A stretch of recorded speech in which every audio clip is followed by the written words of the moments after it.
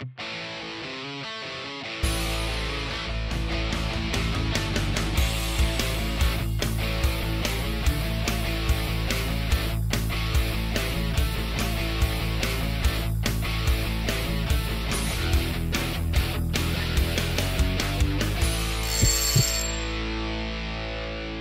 Bene ragazzi, ciao amici di Fisherlandia e benvenuti in un nuovo video, anzi benvenuti in un nuovo medium short video. Quindi come avete visto oggi vi faccio vedere una canna della Daiva, la Silver Creek, quindi canna corta, video corto. A parte gli scherzi, voglio fare questo video in un sol soffio perché è molto importante far passare in questo video soprattutto le mie sensazioni. Il sottotitolo l'avete visto, Native come una volta. La pesca native racchiude effettivamente quella che è la pesca in torrente naturale a pesci assolutamente naturali con tutte quelle che sono le componentistiche che riguardano questa tecnica. Quindi non è soltanto e assolutamente lontano il combattimento con il pesce in questo caso, ma soprattutto la gestione dell'esca. Quindi abbiamo bisogno di una canna che ha delle caratteristiche particolari. Questa Silver Creek mi è piaciuta perché proprio in un momento particolare di, di quest'anno mi è riaffiorata la volontà di andare a pescare in qualche torrente, di ripercorrere qualche vecchia pozza che facevo eh, molto spesso, molto tempo fa, e combinazione, l'amico Jack di Daiva, mi ha dato la possibilità di avere in dotazione questa Silver Creek, la 48, la più corta, 1,40 m, che ho trovato molto maneggevole, molto reattiva, più reattiva delle canne che utilizzavo io proprio per una questione di materiale. È molto importante, dicevo, in questa tecnica avere questo, questo prolungamento del braccio proprio in maniera naturale, deve essere una canna che ti deve entrare dentro subito, devi quando fai un lancio essere assolutamente molto molto preciso e non devi neanche stare troppo a pensare a dove devi lanciare, deve essere un continuo, deve essere e devo dire che la sensazione di questa Silver Creek me l'ha dato atto, mi piace molto anche il fatto che sia una canna in tre elementi, quindi una canna in tre pezzi, molto importante anche perché frequentando dei piccoli torrenti spesso gli spostamenti sono piuttosto eh, frequenti sia eh, in auto da un torrente all'altro sia in diversi passaggi piuttosto complicati dove consiglio assolutamente alla canna di smontarla e di riporla magari nello zaino o nel gilet da pesca.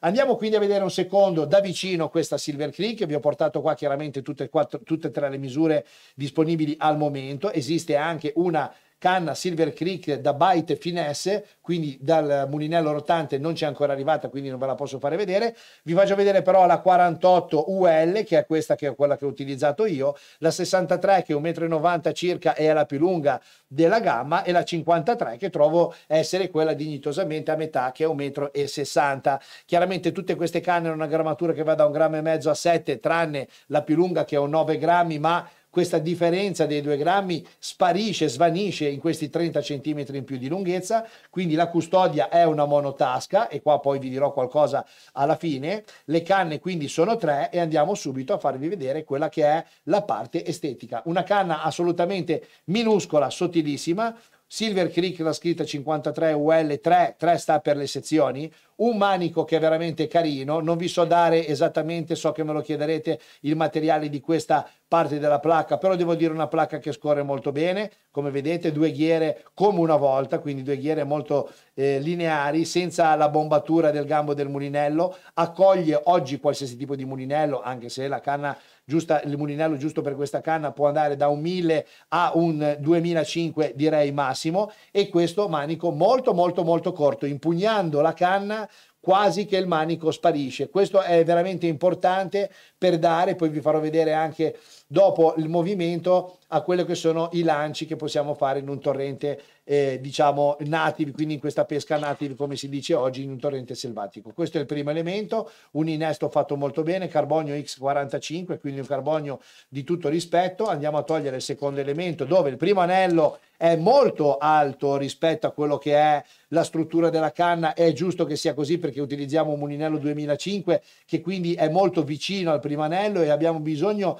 di questa prima fuoriuscita, poi abbiamo una forzatura qua su questo anello che lo va ad allineare, quindi molto ben fatto questo montaggio molto tecnico. Abbiamo poi chiaramente il bugiardino dove vengono riportate tutte le tre misure, compresa quella da bite casting che vi ricordo essere 1,37 m, anche la più corta, sempre 7 grammi, poi quella quando ci arriverà magari faremo uno short per farvi vedere un pochino meglio, poi abbiamo la cima assolutamente sensibile, ma si può dire che questa canna non ha una spiccata azione di punta, anzi è una canna a mo' di trout area con più schiena, quindi assolutamente una canna da per questo tipo di pesca non si potrebbe andare ad utilizzare. Quindi queste sono le caratteristiche estetiche che vi faccio vedere. Ritorniamo in questa eh, immagine perché voglio farvi vedere proprio questo. Il discorso di avere una canna in mano così eh, maneggevole è proprio perché spesso e volentieri in torrente molto difficilmente facciamo il lancio in questo modo, anche se devo dire che la canna spinge molto, avendo avuto qualche spazio libero, l'ho provata, spinge molto molto bene, anche grammature piccole, utilizzavamo, utilizzavo in particolar modo sempre hard bait intorno ai 2 grammi e mezzo, 3 grammi fino ad arrivare a un 5-6 grammi massimo, spinge quindi molto bene anche in distanza, ma soprattutto è una canna da, mono, da monomano. Quindi io posso aprire, chiudere, lanciare sempre dritto in questa posizione, posso lanciare in questa posizione, guardate, vedete come passa agevolmente sotto il, il, il polso, posso assolutamente fare una fiondatina in questo, in questo senso, quindi la canna deve essere più importante per, suo, per la sua maneggevolezza e per il suo movimento che per quello che invece riguarda il combattimento del pesce e la mangiata del pesce che poi rimane appunto in questo tipo di pesca e nel selvatico abbastanza semplice se vogliamo dirla così. È molto più difficile fare un lancio con precisione, mettere l'esca dove voglio io e soprattutto non sbagliare quel lancio perché altrimenti rischiamo di bruciarci in alcuni eh, luoghi quella pozza, quindi quella pozza può essere anche piena di pesce, ma non otteniamo più nessun risultato. Quindi questa canna è una canna che trovo molto molto molto carina, mi è piaciuta moltissimo l'azione, pur eh, essendo una canna molto corta e quindi sembra che ci sia poco da dire, qua ci sarebbe da disquisire su un sacco di elementi. Mi piace quindi la canna, mi piace quindi moltissimo quello che è il tre pezzi di questa canna, mi piacciono molto gli innesti che vanno praticamente a svanire quando la canna piega, ho potuto eh, chiaramente fare un sacco di lanci, provare un sacco di esche e devo dire che il feeling è immediato su questo oggetto. Le cose che mi piacciono forse meno, mi piace forse meno, come vi dicevo, questa custodia, una custodia un po' troppo povera, passatemi il termine,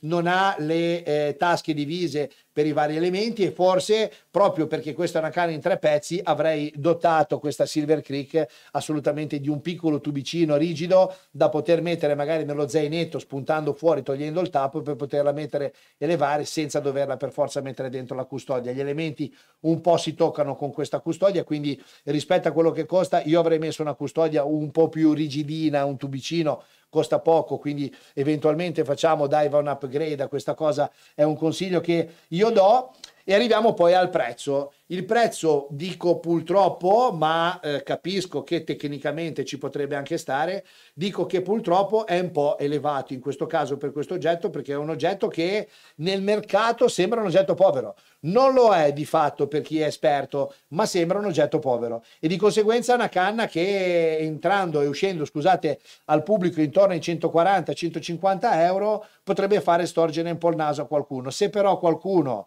vuole un oggetto molto reattivo, un oggetto molto, molto eh familiare al braccio, al movimento, dopo le primi 3-4 lanci ti dimentichi di averla in mano e quindi fai tutto veramente nel modo preciso, giusto, mi piace il sughero, devo dire che non è poi un prezzo così fuori, fuori mercato. Comunque, questo sta a voi e siete voi che dovete valutare. Secondo il mio punto di vista questa canna è una canna che prende voto 8, 8 e mezzo, non c'è niente da dire di più. La custodia ha fatto il suo eh, dovere, ha, fatto il suo, ha dato il suo, ehm, il suo eh, inferiore voto, ha fatto sì che la recensione fosse inferiore di voto, non ve lo nascondo, avrebbe preso sicuramente un punto in più. Il prezzo forse ha fatto sì che un altro punto, un altro mezzo punto ci poteva stare, forse poteva costare qualcosina di meno. Però vi devo dire che l'azione mi piace, l'estetica mi piace, è chiaro che mi piace e bah, andrebbe valutata soltanto per l'estetica questa Silver Creek, molto molto carina, molto bella. Quindi la trovate chiaramente disponibile sul nostro sito internet, vi lascio il link qua sotto in descrizione, se avete domande, qualsiasi cosa scrivetemelo qua nei commenti, ci vediamo alla prossima recensione, a questo punto io e la Silver Creek, perché questo è un medium short video, quindi devo fare veloce, vi salutiamo e come sempre vi diciamo noi che la pesca è con voi.